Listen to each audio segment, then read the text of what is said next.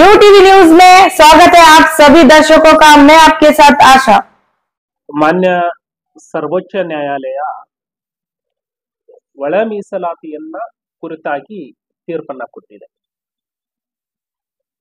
ಮಾನ್ಯ ಕೇಂದ್ರ ಸರ್ಕಾರದ ಸಚಿವರು ಸ್ಪಷ್ಟಪಡಿಸಿದ್ದಾರೆ ಯಾವುದೇ ಭಾಗದಲ್ಲಿ ಇಡೀ ದೇಶಾದ್ಯಂತ ಕ್ರೀಮಿ ಲೇಯರ್ ಅನ್ನ ಅಳವಡಿಸುವಂತಹ ಪ್ರಸ್ತಾಪ ಸರ್ಕಾರದ ಮುಂದೆ ಇಲ್ಲ ಅಂತ ಹೇಳಿ ಹೇಳಿದ್ದಾರೆ.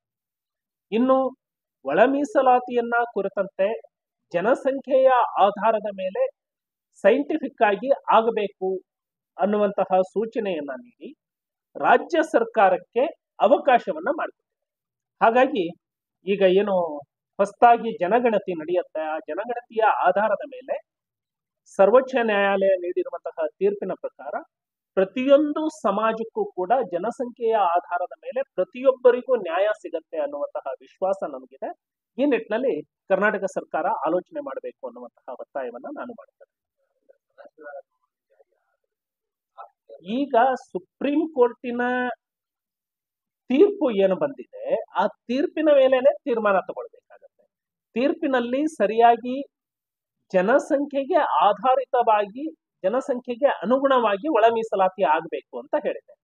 ಹಾಗಾಗಿ ಹಿಂದಿನ ಆಯೋಗಗಳು ಅದು ಲೇಟೆಸ್ಟ್ ಜನಸಂಖ್ಯೆಯನ್ನ ಹೊಂದಿರುವಂತಹ ಸ್ಟ್ಯಾಟಿಸ್ಟಿಕ್ಸ್ ಹೊಂದಿರೋದಿಲ್ಲ ಅದು ಸಂವಿಧಾನ ತಿದ್ದುಪಡಿಗೆ ಏನು ಆಗಬೇಕು ಅನ್ನುವಂತಹ ಅಂಶಗಳನ್ನು ಇಟ್ಟಿತ್ತು. ಈಗ ಸರ್ವೋಚ್ಚ ನ್ಯಾಯಾಲಯದ ತೀರ್ಪು ಅಂತಿಮ, ಅದರ ಪ್ರಕಾರ ಲೇಟೆಸ್ಟ್ ಪಾಪ್ಯುಲೇಷನ್ ಸೆನ್ಸಸ್ ಏನಾಗುತ್ತೆ ಅದ್ರ ಪ್ರಕಾರ ಕೊಡಬೇಕು. ಜಾತಿ ಗಣತಿ ಎಸ್ ಸಿ ಎಸ್ ಟಿಗೆ ಸಂಬಂಧಪಟ್ಟಂತೆ ಮೊದಲಿನಿಂದನೂ ಇದೆ. ಈಗೇನು ಹೊಸದಾಗಿ ಇಲ್ಲ. ಮೊದಲಿನಿಂದನೂ ಕೂಡ ಜನಗಣತಿಯಲ್ಲಿ ಪರಿಶಿಷ್ಟ ಜಾತಿ, ಪರಿಶಿಷ್ಟ ಪಂಗಡಕ್ಕೆ ಸಂಬಂಧಪಟ್ಟಂತೆ ಅವರ ಜಾತಿ ಅದು ಎಷ್ಟು ಸಂಖ್ಯೆ ಅಂತ ಹೇಳಿ ನಿಖರವಾಗಿ ಗೊತ್ತಾಗುತ್ತೆ. ಸುಪ್ರೀಂ ಕೋರ್ಟ್ ತೀರ್ಪಿನಲ್ಲಿ ಅದನ್ನ ಹೇಳಿದೆ, ಅದನ್ನ ಎತ್ತಿ ಪ್ರಿಯಾಂಕ್ ಖರ್ಗೆ ಅವರು, ತಮ್ಮ ಕುಟುಂಬದ ಹೆಸರಿನ ಟ್ರಸ್ಟ್ಗೆ ಕೆಐಡಿಬಿಯ ಭೂಮಿಯನ್ನ ಅಕ್ರಮವಾಗಿ ಪಡೆದುಕೊಂಡಿದ್ದಾರೆ.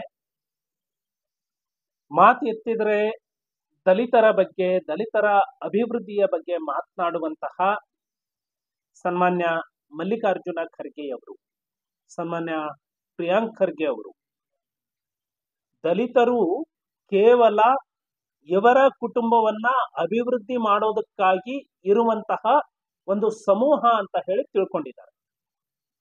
ಇದರಿಂದಾಗಿ ಬಡ ದಲಿತ ಉದ್ದಿಮೆದಾರರಿಗೆ ಸಿಗಬೇಕಾದಂತಹ ಭೂಮಿಯನ್ನ ಮಲ್ಲಿಕಾರ್ಜುನ ಖರ್ಗೆ ಅವರ ಕುಟುಂಬ ಅವರಿಂದ ಕಿತ್ಕೊಂಡಿದೆ ಇದರಿಂದಾಗಿ ದಲಿತ ನೂರಾರು ಕುಟುಂಬಗಳು ಏನು ಅಭಿವೃದ್ಧಿ ಹೊಂದಬಹುದಾಗಿತ್ತೋ ಆ ನೂರಾರು ದಲಿತ ಕುಟುಂಬಗಳು ಮತ್ತೆ ಬಡತನದ ರೇಖೆಯ ಕೆಳಗೆ ಉಳಿಯೋದಕ್ಕೆ ಖರ್ಗೆ ಕುಟುಂಬ ಕಾರಣ ಆಗಿದೆ.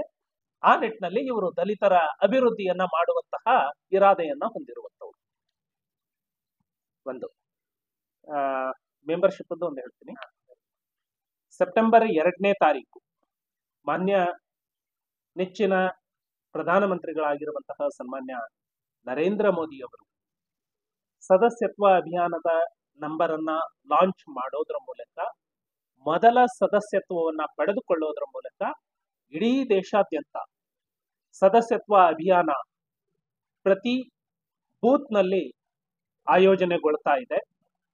ಇದನ್ನ ಇಡೀ ದೇಶದಿಂದ ಹತ್ತು ಕೋಟಿ ಬಿಜೆಪಿಯ ಸದಸ್ಯರನ್ನ ನೇಮಕ ಮಾಡುವಂತಹ ಗುರಿಯನ್ನ ಇಟ್ಕೊಂಡಿದ್ದೇವೆ. ವಿಜಯಪುರ ಜಿಲ್ಲೆಯ ಪ್ರತಿಯೊಂದು ಮತಕ್ಷೇತ್ರಗಳಲ್ಲಿ ನಲವತ್ತು ಸಾವಿರ ಮತದಾರರನ್ನ ಸದಸ್ಯರನ್ನಾಗಿ ನೇಮಕ ಮಾಡುವಂತಹ ಗುರಿಯನ್ನ ಇಟ್ಕೊಂಡು ಇವತ್ತು ಅದರ ಕಾರ್ಯಾಗಾರ ಈ ಕಾರ್ಯಾಲಯದಲ್ಲಿ ನಡೀತಾ ಇದೆ. ಪ್ರತಿ ಕ್ಷೇತ್ರದಲ್ಲಿ ನಲವತ್ತು ಸಾವಿರ ಮತದಾರರನ್ನ ಸದಸ್ಯರನ್ನಾಗಿ ನೇಮಕ ಮಾಡುವಂತಹ ಹೆಜ್ಜೆಯನ್ನ ಇಟ್ಕೊಂಡು ತೀರ್ಮಾನವನ್ನ ಕೈಗೊಂಡಿದ್ದಾರೆ. ಹತ್ತು ಸಾವಿರ ಗುರಿ. ಪ್ರತಿಯೊಬ್ಬ ಕಾರ್ಯಕರ್ತ ಪ್ರತಿ ಬೂತ್ನಲ್ಲಿ ಪ್ರತಿಯೊಂದು ಮನೆಗೂ ಹೋಗಬೇಕು ಅವರೊಟ್ಟಿಗೆ ಮಾತನಾಡಬೇಕು.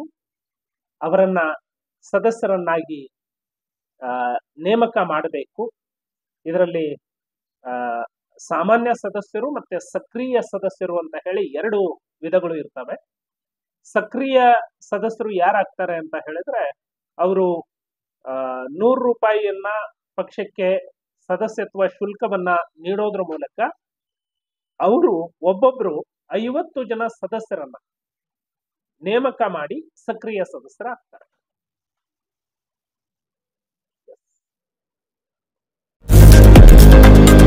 लेटेस्ट न्यूज अपडेट्स के लिए YouTube एक्सप्रेस को सब्सक्राइब कीजिए साथ में बेल आइकॉन को भी क्लिक कीजिए साथ ही साथ लाइक शेयर और कमेंट करना ना भूलिए